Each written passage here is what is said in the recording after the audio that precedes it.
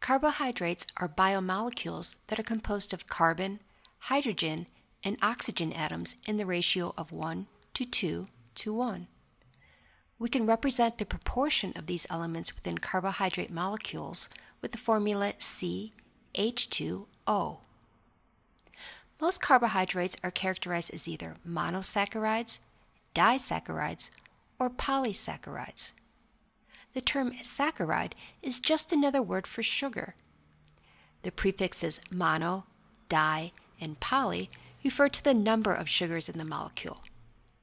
Mono means one, so a monosaccharide is a carbohydrate made of one unit of sugar.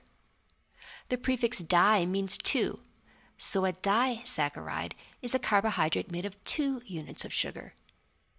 And poly means many, so a polysaccharide is made of many sugar units bonded together. Let's talk about monosaccharides first. Monosaccharides are the building blocks, or monomers, of all carbohydrates. Common monosaccharides include glucose, fructose, and galactose. Glucose is by far the most abundant monosaccharide. It's water soluble, easily transported through an organism, and is the energy source for cellular respiration and the production of ATP. Fructose is the primary monosaccharide found in fruits and plants, and galactose is the primary monosaccharide found in milk. All of these monosaccharides are six carbon sugars with the chemical formula C6H12O6. They can be depicted chemically as either straight chains or rings. Disaccharides are formed when monosaccharides are joined together through dehydration reactions, forming what are called glycosidic linkages. Common disaccharides include maltose, which is made up of two glucose molecules, sucrose, also known as table sugar, which is made up of glucose and fructose, and lactose, or milk sugar, which contains glucose and galactose. Polysaccharides are formed when glucose monomers link together to form long chains. These long chains of glucose units are ideal for storing energy. The chains can be straight or branched. Plants store energy in the form of amylose, which has straight chains, or amylopectin, which is branched.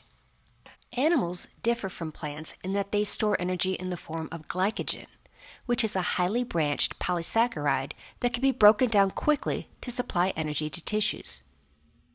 Other polysaccharides, such as cellulose, chitin, and peptidoglycan, serve as structural molecules in organisms. The most abundant polysaccharide is cellulose. Cellulose is a straight chain polymer of glucose, like amylose, but it differs in the configuration of the bonds between the glucose units. Most organisms are unable to break these bonds and cannot use cellulose as a source of energy. Instead, cellulose is used to add strength to plant cell walls. Chitin is a structural polysaccharide found in animals and fungi. It makes up the exoskeleton of insects and crustaceans. Its unique properties are a result of chitin having amino groups attached to its sugar monomers. Peptidoglycans are complex polysaccharides found in the cell walls of bacteria. The macromolecule is both flexible and rugged due to its structure. Each monomer of the polysaccharide has a peptide chain attached to it.